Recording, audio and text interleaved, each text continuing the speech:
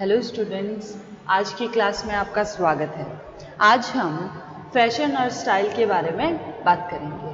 क्या होता है फ़ैशन क्या होती है उसकी स्टाइल किस किस प्रिंसिपल सिद्धांत को इसमें काउंट किया गया है? इसके अंदर किन किन का डिफाइन किया गया है? उनके बारे में हम डिस्कस करेंगे। तो सबसे पहले जो फ़ैशन और जो स्टाइल दे रखा है, वो आपके प्रोडक्ट की जो पॉलिसीज़ होती है प्रोडक्ट पॉलिसी होती है, उसका बहुत इंपॉर्टेंट पार्ट है।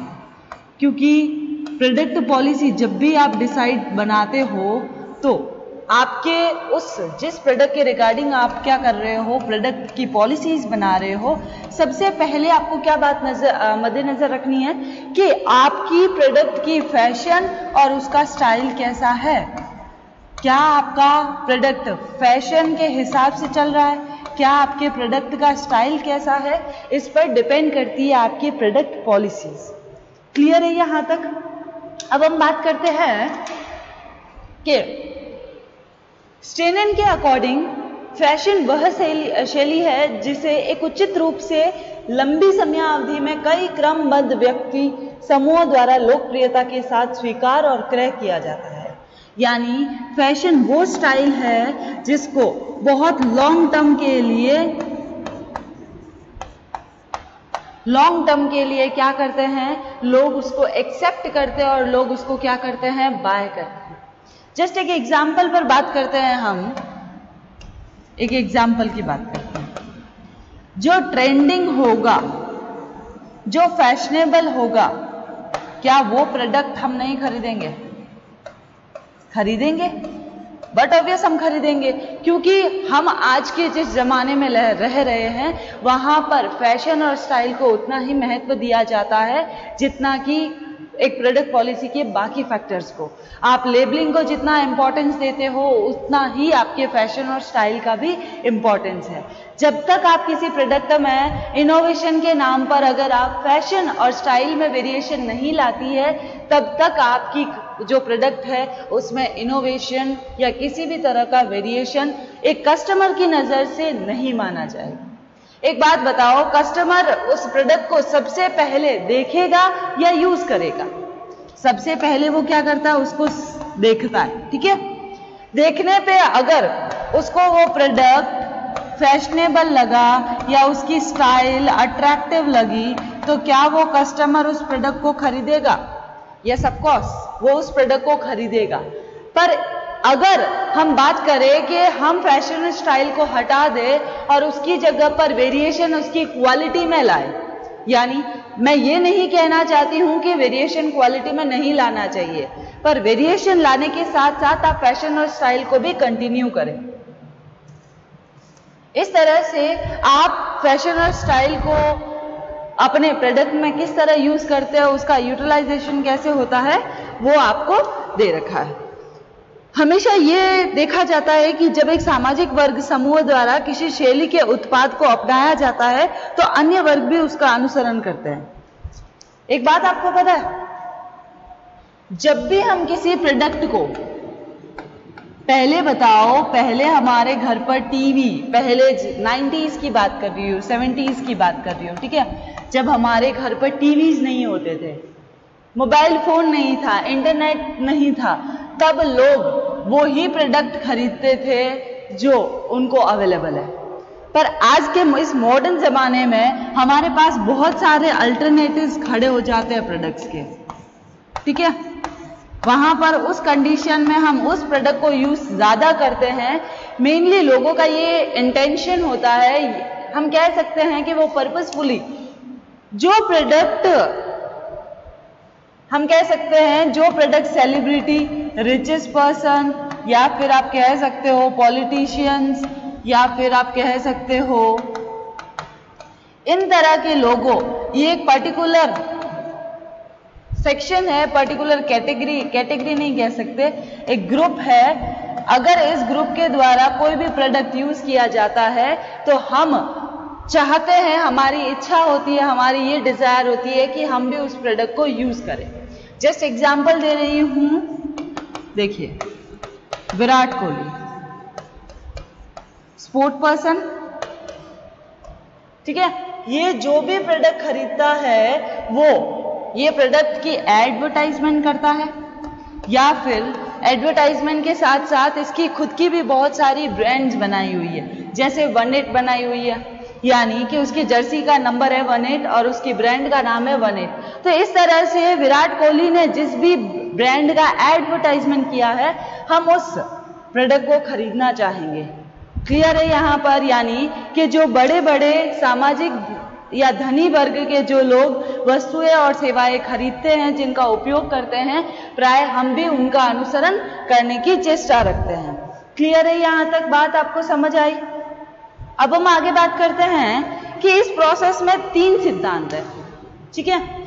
तीन सिद्धांत है। सबसे पहले बात करते हैं हम ट्रिकल डाउन सिद्धांत की। ट्रिकल डाउन सिद्धांत की। ये क्या कहता है? उस पर बात करते हैं। ठीक है? ये कहता है कि इस सिद्धांत में ऐसे लोगों के समक्ष जो उच्च आय वर्ग के प्रतिनिधि या सामाजिक नेता है, नवीन शैली को प्रस्तुत किया जाता है। यदि ये प्रतिनिधि उस शैली को स्वीकार कर लेते हैं तो शीघ्र ही उस शैली के उत्पाद के वितरण माध्यमों द्वारा व्यापक रूप से फैलाया जा सकता है। अभी हमने बात क्या की? हमने बात की कि जो सामाजिक वर्ग से या आर्थिक वर्ग से जो धनी लोग हैं, वो अगर किसी स्टाइल को पसंद करते हैं, किसी स्टाइल को उनके सामने अगर प्रेजेंट किया गया है, और अगर वो उस स्टाइल उस फ़ैशन उस शैली को स्वीकार कर लेते हैं, उसको एक्सेप्ट कर लेते हैं तो बहुत फास्ट बहुत शीघ्र ही क्या कर लेते हैं, उस जिस स्टाइल को उन लोगों ने एक्सेप्ट किया है, उसको मार्केट में स्प्रेड कर देते हैं। मार्केट में फ्लो कर देते हैं। जिससे क्या होगा, मार्केट में उसी उत्पाद को निम्न वर्ग और मध्य वर्ग अपनाने लगेंगे और वो स्टाइल ज़्यादा फ़ेमस होती चली जाएगी। क्लियर है यहाँ पर? देखिए, इसका हम कंटेन यहाँ पर नोट डाउन कर देते हैं।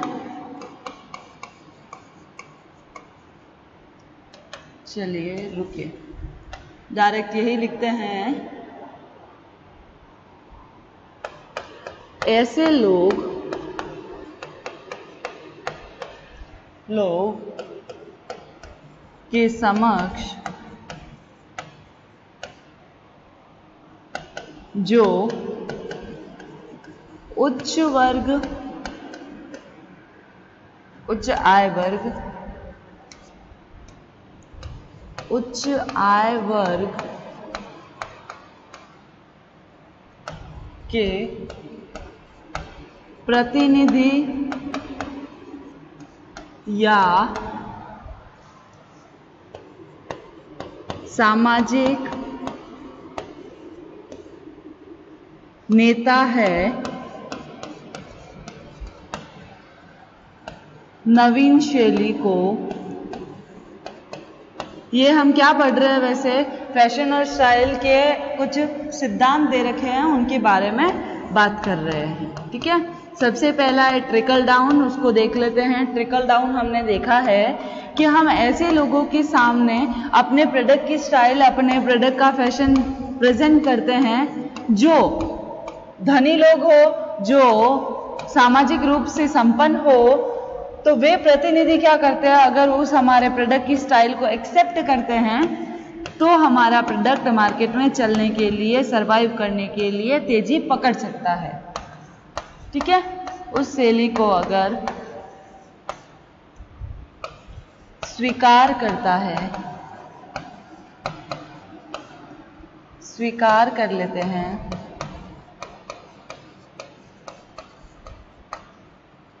कर लेते हैं तो शीघ्र ही उस शैली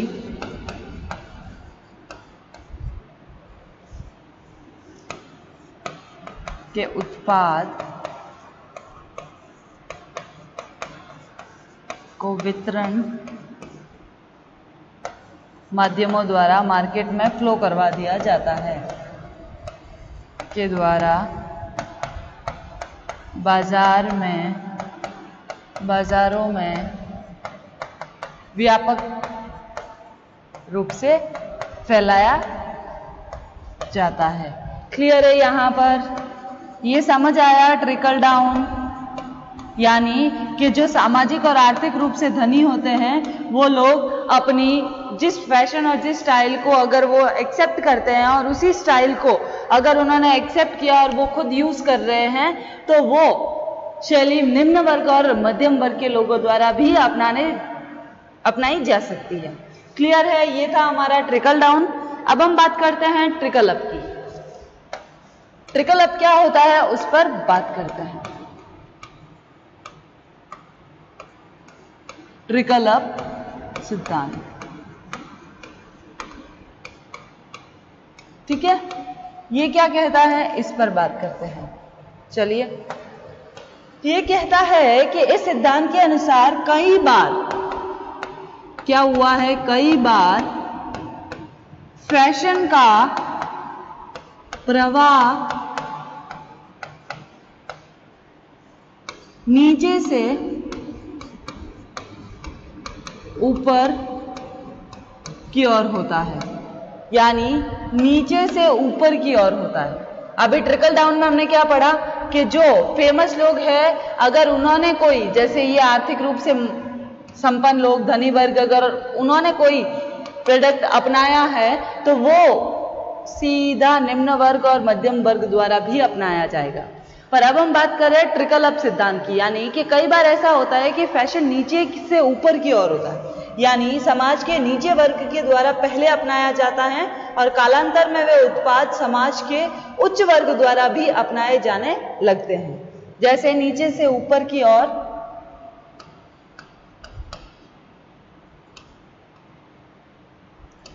ऊपर की ओर होता है। ठीक है? जिन्हें कई उत्पाद प्रारंभ में समाज के नीचे वर्ग के जो लोग हैं, निम्न वर्ग के जो लोग हैं, उनके द्वारा अपनाए जाते हैं। इसका एग्ज़ाम्पल है बेस्ट एग्ज़ाम्पल है आपका चाय। जो टी आती है ना, वो। ठीक है? यानी कि चाय के बागान सबसे पहले जो खेती करते हैं, वो लोग उसको यूज़ करते हैं। वो जैसी नई चाय मार्केट में लाना चाहते हैं, वैसी वो चाय ला सकते हैं। वो जिस तरह की चाय को मार्केट में प्रेजेंट करेंगे, उच्च वर्ग और संपन्न वर्ग उसी चाय को यूज़ करना स्टार्ट कर देते हैं। क्लियर है? ये था हमारा ट्रिकल अप सिद्धांत। अब हम बात करते हैं ट्रिकल अक्रॉस सिद्धांत। थर्ड की बात करते हैं। ट्रिकल एक्रॉस सिद्धांत ठीक है? अब ये क्या होता है? इस पर बात करते हैं। देखिए कि इस सिद्धांत में मूल क्रेता केवल उच्च आय वर्ग के ही नहीं होते हैं। जो मेन बायर होते हैं ना, वो सिर्फ़ उच्च वर्ग नहीं होते हैं। जो क्रेता होते हैं वो सिर्फ़ उच्च वर्ग के ही नहीं, बल्कि इसमें सभी वर्ग, निम्न वर्ग और इसमें मध्यम वर्ग। तीनों वर्ग के क्रेता, यानी जितने भी समाज में बायर है, वो सारे लोग प्रोडक्ट वो सारे लोग हमारे रिप्रेजेंटेटिव होते हैं। यानी हम अदर वर्ड्स में कहे कि नई शैली के उत्पाद को विभिन्न समुदायों को एक साथ, यानी अब तक हमने जैसे ये सेकेंड पढ़ा फ़र्स्ट इसमें हम क्या करते थे? उच्च वर्ग के जो लोग थे, उनको हम पहले प्रेजेंट करते थे और बाद में क्या करते थे हम? बाकी लोगों को प्रेजेंट करते थे। ट्रिकल अप में क्या था कि हम ना निम्न लोगों को पहले प्रेजेंट करते थे। निम्न वर्ग के जो लोग हैं, वो हमारी प्रायोरिटी थी, उनको प्रेजेंट करते थे। पर अक्रॉस में क्या है कि हम इन तीनों को एक साथ क्या करते हैं? अपने प्रोडक्ट को प्रेजेंट करते हैं, एक साथ तीनों को। ठीक है? अंतर सिर्फ़ इतना होता है कि उच्च वर्ग की गुणवत्ता। सिर्फ़ डिफरेंस कितना है? डिफरेंस है आपका कि उच्च वर्ग क्या करेगा? उसकी क्वालिटी जो है उच्च वर्ग की, वो हाई होगी। ठीक है? अगर क्वालिटी हाई है तो उसका मूल्य भी हाई होगा। यानी उसका प्राइस क्या होगा? क्वालिटी अच्छी दे रहा है प्रोडक्ट की तो प्राइस भी हाई होगी। फिर है कि निम्न वर्ग की क्वालिटी हम बात करते हैं यहाँ पर, अगर निम्न वर्ग की क्वालिटी की बात करें तो वो कैसी होगी? थोड़ी सी कंपैरेटिवली लो ठीक है? और प्राइस भी क्या होगी? लेस होगी, ठीक है? यहाँ पर।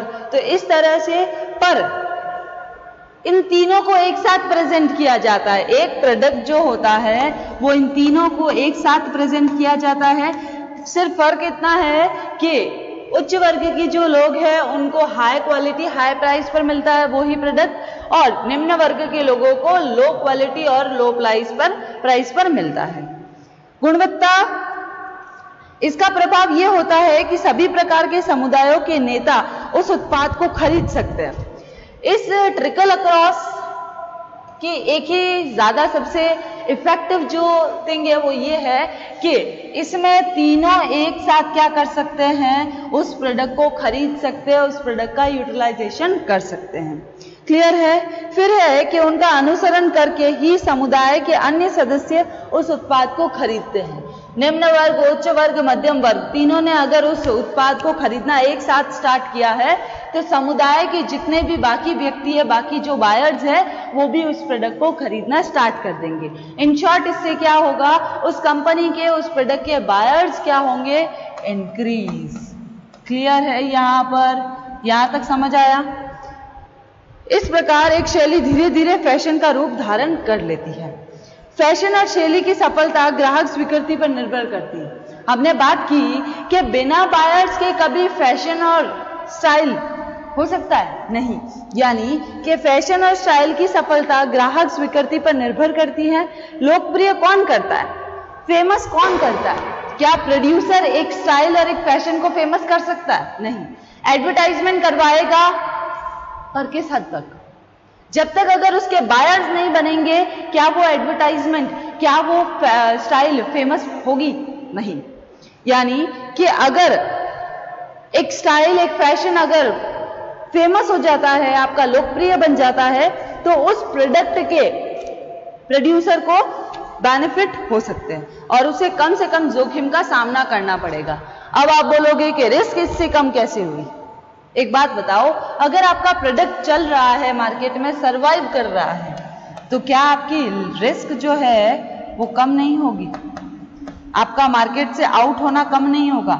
एक बात बताओ अगर आपका प्रोडक्ट मार्केट में 100 यूनिट बिक रहा है पर डे का और बाकी कंपैरेटिव सबके 40, 50 ऐसे बिक रहे हैं जैसे आपका प्रोडक्ट की यूनिट कितनी?